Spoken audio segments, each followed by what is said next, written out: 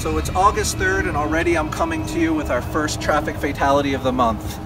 In this particular incident, excessive speed and impairment not only cost the life of an innocent victim, but it's now made a driver a criminal. While they're getting comfortable being booked into jail, a family has to get comfortable with knowing that their loved one will never come home again. Until the Las Vegas community understands this and works together, we're not going to be able to prevent these senseless deaths. These are avoidable. We just need to work together.